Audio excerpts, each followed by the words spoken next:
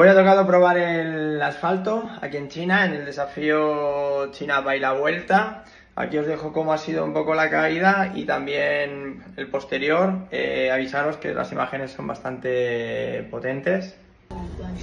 对，好，就是轮子刮着就是轮子刮着，他的前车轮刮着那个选手的后车轮了。嗯。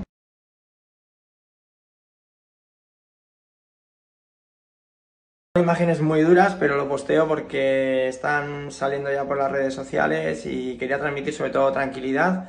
Eh, había muchísima sangre porque tanto el corte de la ceja como este, que por cierto han hecho un grandísimo trabajo los doctores, eh, ha sido muy escandaloso, pero afortunadamente ha sido solo eso.